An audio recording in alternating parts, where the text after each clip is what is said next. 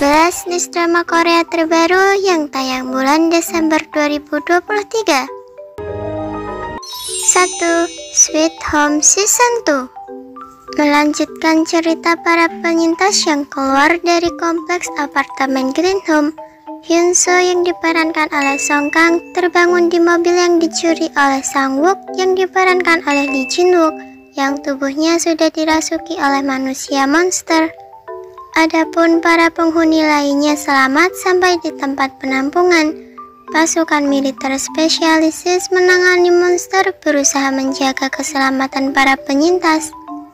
Namun saat vaksinasi berhasil dibuat, Crow Platoon akhirnya dibubarkan. Di tengah masyarakat, muncul ketakutan bahwa monster akan menyerang kapan saja dan bisa membuat mereka berubah menjadi monster. 2. My Man is Cupid Chon Sang Hyuk yang diperankan oleh Jang Do Yoon adalah seorang peri karismatik yang dengan mudah membuat wanita jatuh cinta padanya. Dikisahkan juga bahwa 500 tahun yang lalu sayapnya terbakar. Untuk memulihkan sayapnya, ia harus melalui 27 metamorfosis. Pada kali ke-28, dia pun terlibat dengan Byron yang diperankan oleh Nana. Byron adalah dokter hewan yang bekerja di klinik. Dia adalah wanita cantik dan sudah membuat banyak pria jatuh cinta padanya karena daya tariknya. 3. Welcome to Samdalri Jo Young Pil yang diperankan oleh Ji Chang Wook bekerja sebagai peramal cuaca biasa di Pulau Jeju tapi ia dicap buruk oleh badan meteorologi di daerahnya. Yongpil ingin menjadi peramal cuaca setelah ibunya meninggal karena ramalan cuaca yang salah. Dia memiliki teman masa kecil, Jo Samdal yang diperankan oleh Shin Hye Sun. Dulunya mereka lahir di tahun yang sama dan tumbuh bersama di Samdalri. Jo Samdal adalah seorang fotografer terkenal yang dikenal dengan nama Jo Eun Hye. Ia kini bekerja di Seoul karena suatu peristiwa dia kehilangan karir fotografinya dan hidupnya hancur.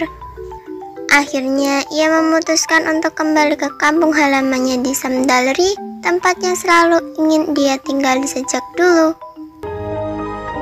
4. Night has come mengisahkan tentang sekumpulan siswa yang dipaksa memainkan sebuah permainan yang sedang terkenal di kalangan remaja saat itu di dalam dunia nyata.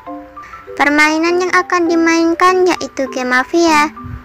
Para pemainnya diminta untuk mencari tahu identitas asli seorang mafia, melakukan fraud, dan mengeliminasi seseorang sampai menemukan identitas mafia asli.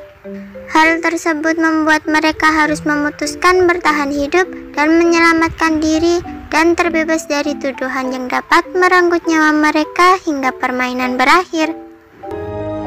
5. Soundtrack 2 Menceritakan tentang Hyun Soo yang diperankan oleh Kim Serok dan Suho yang diperankan oleh Steph Noh, mantan sepasang kekasih yang mengakhiri hubungan mereka setelah enam tahun bersama. Berpisah karena kesalahpahaman, keduanya melanjutkan hidup masing-masing hanya untuk bertemu kembali. Hal itu terjadi saat Suho, seorang direktur sukses yang ingin memperkerjakan seorang guru piano yang ternyata adalah Hyunso.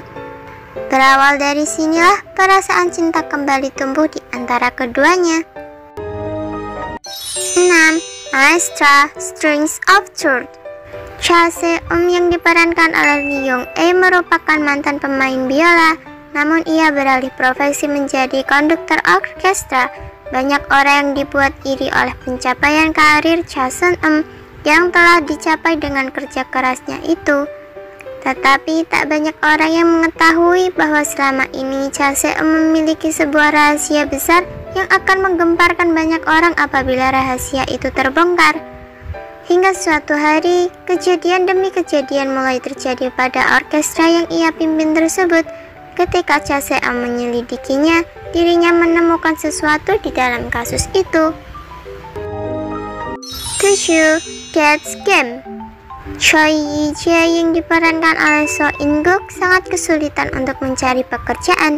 Sang pacar yang tidak tahan dengan kondisi tersebut akhirnya memutuskan Jije dan menikah dengan laki-laki lain. Tidak tahan dengan situasi sulit, Choi Yije terjun dari apartemennya. Sebelum bunuh diri, ia menuliskan surat yang ternyata surat Choi Yije yang mengatakan bahwa kematian hal tidak penting tersebut menyinggung Death yang diperankan oleh Park Sodam, sang kematian itu sendiri. Akhirnya, Death membalas hinaan Choi Yije dengan sebuah game yang mengharuskannya mati 13 kali dengan kehidupan yang berbeda-beda.